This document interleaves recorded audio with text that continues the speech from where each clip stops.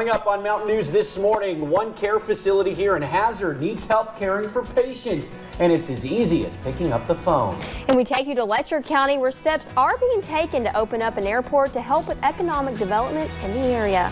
Plus, have you ever wanted to live in a castle? Well, now is the chance for one eager buyer as one Versailles landmark goes back on the market. Dedicated to Eastern and Southern Kentucky. This is WYMT Mountain News This Morning.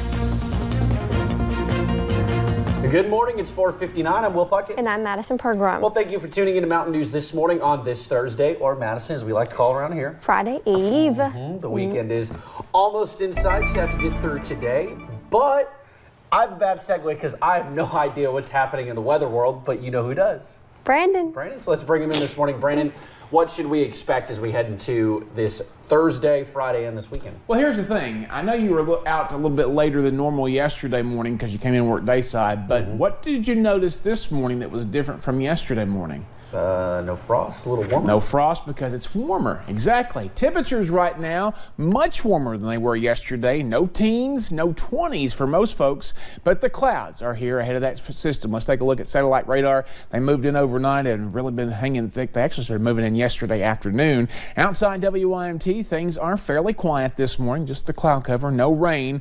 But look at these temperatures. 34 in Jackson and Hazard, 30 Somerset, 30 Irvine, 27 in Ashland is our cold spot.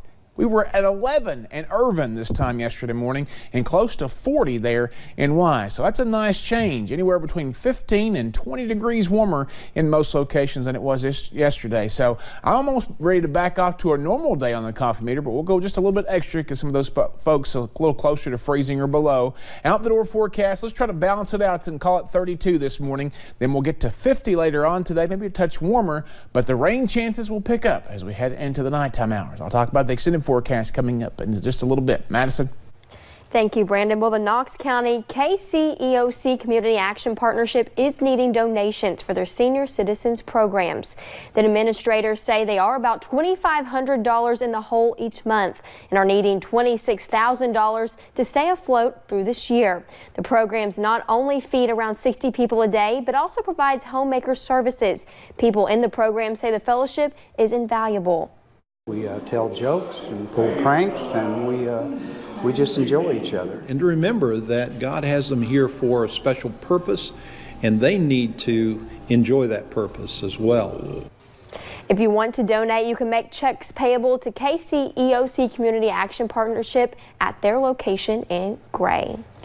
It is as simple as picking up the phone. Bluegrass Care Navigators in Hazard is looking for callers, people who call patients to check and make sure they're okay and they do not need anything. Kelly Callahan says it's a good opportunity for many people.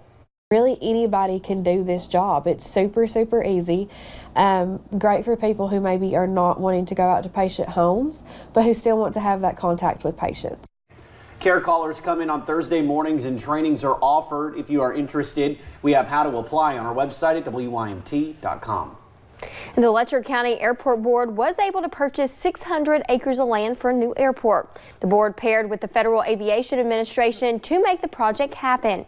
One board member says this will help help with economic development in the area.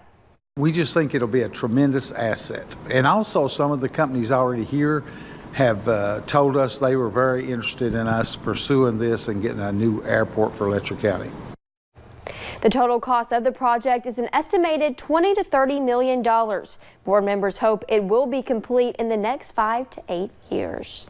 A third earthquake is hit southern Kentucky in the past few days. A 2.4 magnitude quake happened around 446 Tuesday afternoon.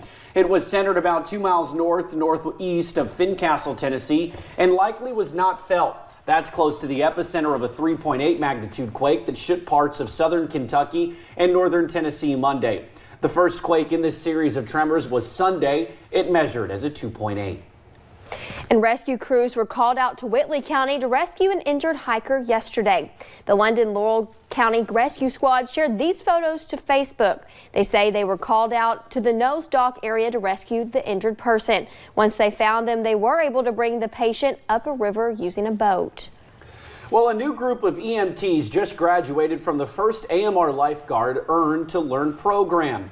AMR Lifeguard started this new program due to an EMT shortage in eastern Kentucky. This program actually pays the students who participate, bringing added relief to those who may have to go to work and go to school at the same time really taken away some of those financial challenges that people, you know, couldn't really afford to quit their jobs in order to go to school full time. 21 of the 25 students passed the Earn to Learn program. If you're interested in the new AMR program, we have more details over on our website at WYMT.com. And Lexington police made an unusual rescue this week. An officer had to help a deer trapped in a swimming pool. It happened Monday morning at a home on Crawley Lane. Police posted this body camera video on social media yesterday. You can see an officer actually pulling the deer out of the pool and the deer ran off seemingly uninjured and probably happy to get out of that cold water. Well, the Kentucky Castle is back on the market. We don't know the asking price of the Versailles landmark. A listing for the castle says it is a quote call for offers process. The castle was last sold in 2017 to a group of investors, including two UK doctors, for $8.7 million. The property is listed through Silvestri Real Estate on LoopNet.com. The realtors have set up multiple property tour dates through the next three months. And the $80 million project to renovate the historic Galt House Hotel in downtown Louisville is more than halfway finished. Right now, the renovation is 65% complete. About half of the 1,200 guest rooms have been made over. The other half will be finished by the end of the summer.